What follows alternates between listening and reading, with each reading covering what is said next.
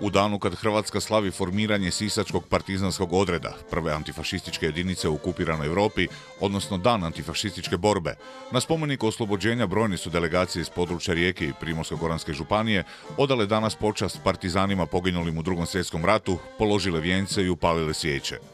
Da kako taj dan prigoda je za odavanje počasti svima onima koji su izborili pobjedu u tom ratu i svrstali Hrvatsku na pobjedničku stranu i stranu dobra, rekao je gradonačelnik Rijeke, ali dodao da je govoriti o antifašizmu danas potrebnije nego ikada, jer mnogi iz krvave povijesti nisu naučili ništa. Rezultat toga su i brojno ustaško znakovlje i potenciranje ustaškog pozdrava, nažalost crtanje i nacističkih znakova, a jednako tako sve izraženiji govor mržnje i netrpeljivosti po različitim osnovima. Svaki govor mržnje i netrpeljivosti danas možemo smatrati e, određenim oblikom fašizma i zato je o tome i važno govoriti.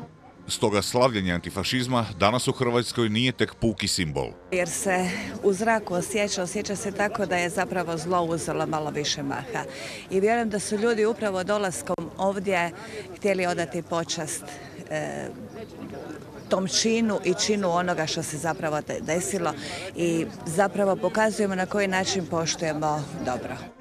Dio ljudi ustaštvo, fašizam ili nacizam slavi iz ideoloških razloga i s vrlo jasnom političkom porukom, smatraju sugovornici, ali ih više zabrinjava onaj drugi dio. Ja mislim da imamo problema, upravo zato jer postoji ljudi koji konstantno bude na neki način u ljudima i ustaštvo i fašizam.